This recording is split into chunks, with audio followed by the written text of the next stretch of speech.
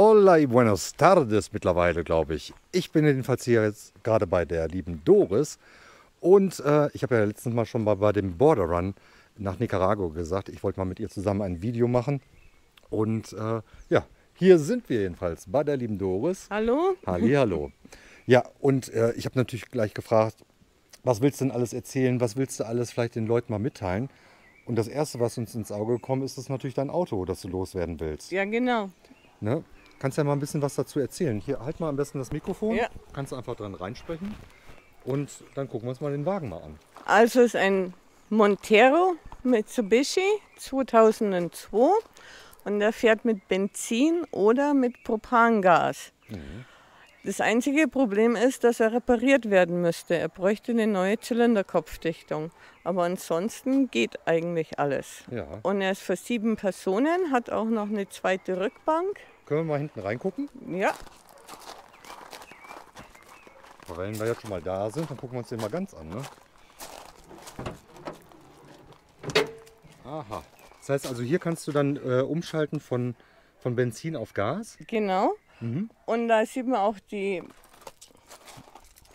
wo die zweite Rückbank noch hinkommt. Also die habe ich auch noch. Also für sieben Leute kannst du dann. Genau. Äh, also mit sieben Leuten kannst du dann hier durch die Gegend fahren. Und hat auch Vierradantrieb. Ja, okay. Und Ersatzreifen. Allrad braucht man natürlich auf jeden Fall. Ne? Ja, also das ist eines Ja. der wichtigsten Sachen hier, Ja. würde ich mal Ja. sagen. Ja. Und so sieht er innen aus. ja. Was hast du jetzt nochmal gesagt? Baujahr ist 2002. und Kilometer? 175.800 Ja. irgendwas. Ja, okay. Ja, das ist jetzt, ja- Richtung. ist ja jetzt ja noch keine Leistung für, äh, für so ein Auto. Ne? Genau. Ja, haben wir gerade so ein bisschen reinfilmen. Bing, bing. Genau. Das Und heißt hier unten schaltet man um von Benzin auf Gas. Also, aha, Also das ist der Schalter. aha. Okay, Wurde mir erklärt. okay. Und vorne hat er auch noch sowas dran. Da habe ich auch noch rechts und links die Teile dafür. Ja, so, so ein RAM.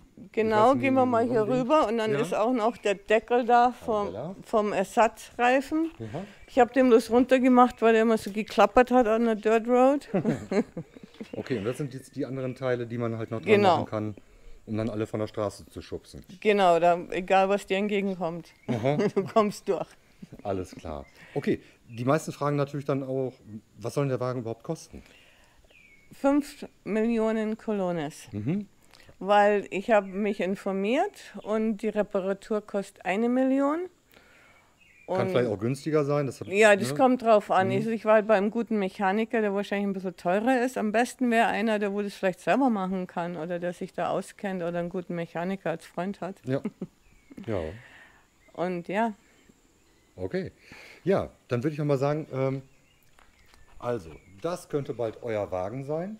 Und wir gehen mal einfach gerade ein kleines Stück weiter, weil äh, die Doris wohnt ja hier so schön ne, in diesem Haus und im Moment ja ganz alleine. ja, Und das kann man ja ändern. Also äh, du hast ja den oberen Bereich auch noch zu vermieten und äh, könntest dann ja ein oder zwei Zimmer sogar vermieten da oben. Ne? zwei Zimmer. Also am liebsten wäre es mir so, dass ich praktisch einen Roommate habe, jemand, der wo monatlich, also hier wohnt und seine eigenen Möbel mitbringt. Und das andere Zimmer wäre gern für kurzfristige Aufenthalte, so auch als Besuch und so. Und ich bin auch Reiki und Thai Yoga Practitioner und würde gern so Retreats machen für Frauen. Mhm. Also die können hier gern auf Urlaub kommen und ich kann mit ihnen eben Reiki, das ist so eine Energy Healing, Mhm. machen, wenn man Probleme hat oder einfach mal genug hat und raus muss und Mhm. sich neu orientieren. Ja. Und habe auch viele Meditationsprogramme und Yoga. Und hier ist es ganz ruhig und friedlich und viel organisches Essen. Also ich baue auch viel selber im Garten an. Wo sind wir denn überhaupt gerade hier? Wie heißt Wir das sind Nest? in La Bonita bei Miravalles. Es sind 15 Minuten nach San Isidro Mhm.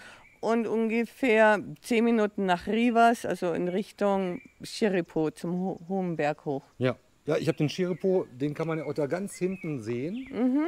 Ne, ist heute ein bisschen diesig, deswegen ist gerade nicht so leicht zu sehen.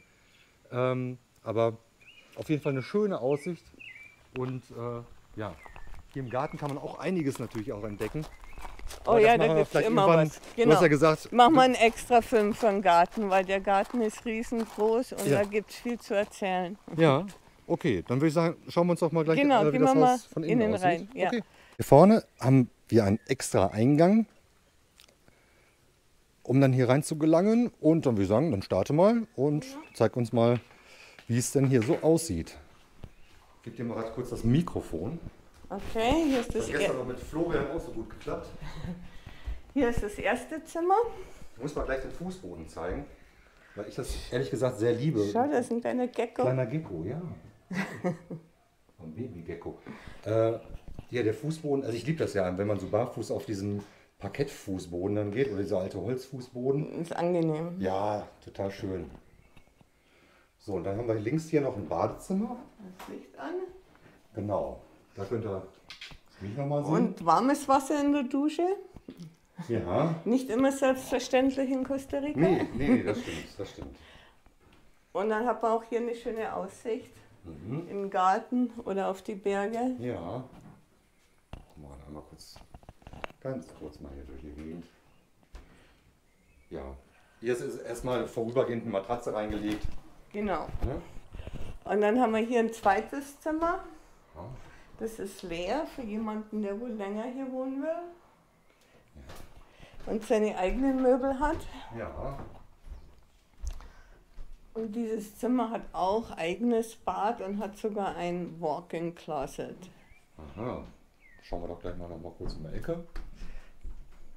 Okay, hier sind wir. Ein Kleiderschrank, und auch ein schönes kleines schnuckliges Bad. Mhm. Ja. Okay. Und dann ist noch ein drittes Zimmer hier. Das ist zur Entspannung.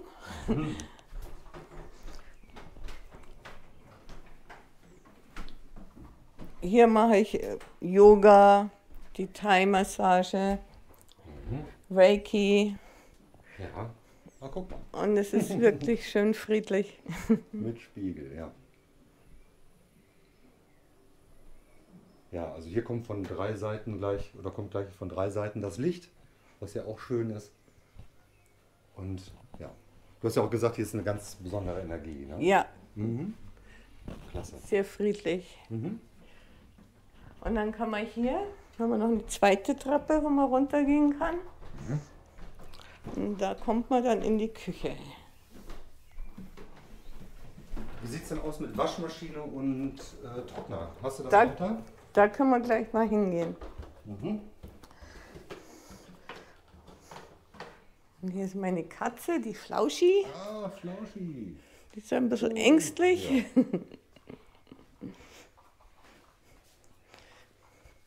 So, hier ist die Waschmaschine und der Trockner und die habe ich gebraucht gekauft und die kamen mit diesen Abdeckungen. Und Die fand ich ganz nett. Ja, okay. Und hier, anstatt den Felsen zu sprengen, haben sie beschlossen, das Haus außenrum zu bauen. Und ich habe dann beschlossen, das zu bepflanzen mit Moos und kleinen Orchideen und Bromeliads, was ich halt so im Garten gefunden habe, was abgebrochen ist und so. Und das finde ich ganz gut. Ja, ich habe eben schon gesagt, die Doris ist so ein, so ein Waldmensch, ne? so Ja. ein bisschen naturverbunden. Und äh, du hast ja gesagt, wenn du dann hier das frische Moos riechst, dann bist du immer glücklich. Ja, genau, da stehe ich da und sprühe das an und der Geruch von dem Moos macht mich einfach glücklich. Mhm. Weiß nicht warum, aber ich finde, dass das ganz toll riecht. Ja, okay.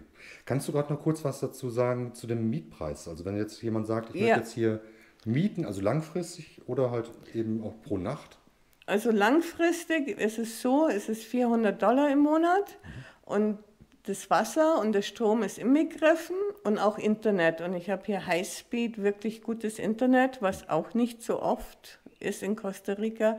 Die meisten haben immer irgendwelche Probleme, aber hier ist es zuverlässig und auch schnell. Also wenn jemand online arbeitet, ist das auf jeden Fall möglich. Und ich habe auch die Sachen hier alle gekauft, die können alle mitbenutzt werden, auch Kühlschrank und Herd, was in kostarikanischen Häusern eben nicht da ist. Also man muss sich das selber kaufen. Ja. Mhm. Und wenn jemand, sagen wir, auf Urlaub kommen will dann würde ich sagen, ist es so um die 40 Dollar die Nacht. Ja, das ist fair. Ja, es okay. kommt drauf an, wann, wie und wie lange. Aber ich würde mich freuen, vor allem über Frauen. Sagen wir mal so, wenn es einem nicht so gut geht und man muss einfach mal weg und entspannen, dann bitte komm doch hierher. und ich auf jeden Fall, wenn man wieder zurückkommt, geht es einem auf jeden Fall besser. Ich hatte gerade eine Freundin hier für vier Wochen, die lässt sich gerade scheiden. Und die hatte so eine Armbanduhr, die ihre Nervous System alles misst und ihren Herzschlag und auch wie sie schläft. Und es wurde alles wesentlich besser, als wie wo sie kam. Und sie ging auch wieder zurück, gestärkt und in neuer, sagt man, Energie. Ja, wunderbar. Prima. Okay, und dann haben wir hier noch die Küche. Also hier unten ist auch noch ein kleines Bad, das ist meins, das benutze ich so. Aber es ist auch so kostarikanisch. Hinter der Tür ist das Waschbecken, deswegen geht die Tür auch nur halb auf. Ja. Okay. Und hier ist die Küche.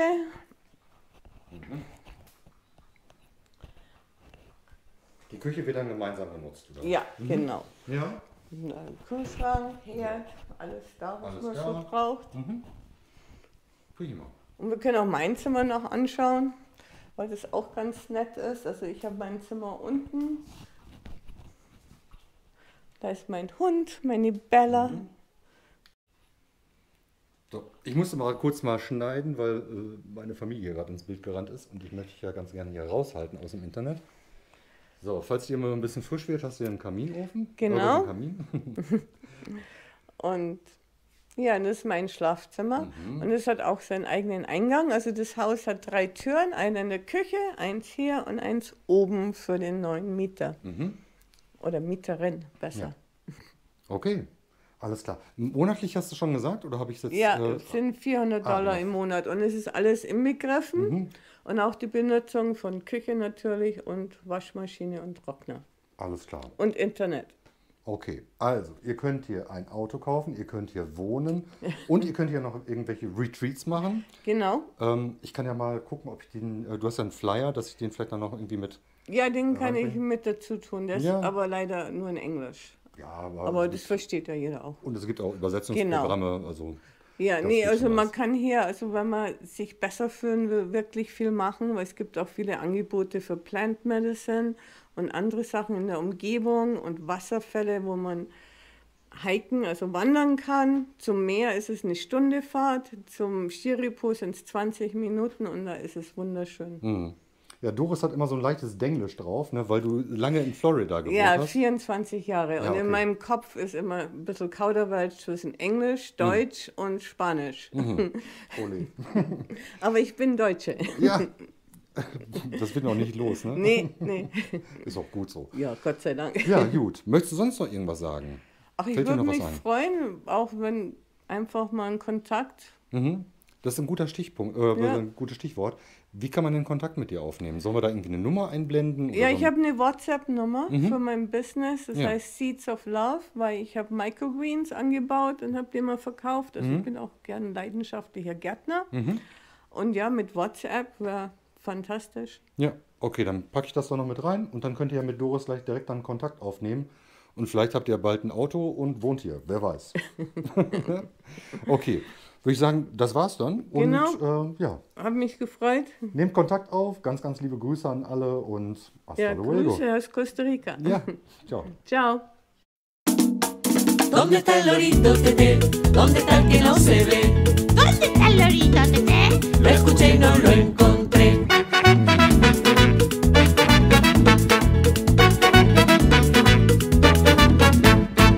Con el monito tití y una lata de maní, a la sombra del ombú fue a jugar al tatetí. Pero aquel tablero era verde y las seis fichitas también. Ay, ay, ay, qué buen escondite. ¿Dónde, dónde está Tete? ¿Dónde está el lorito Tete? ¿Dónde está el que no se ve?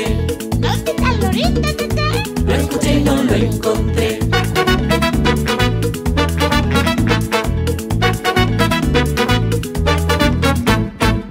En la huerta se metió a jugar al dominó entre plantitas de té, pero al rato se aburrió. Más allá de las tomateras, concentrado me lo encontré. Aprendiendo atrás de un poroto a bailar merequete. ¿Metere qué? Merequete, merequete, merequete.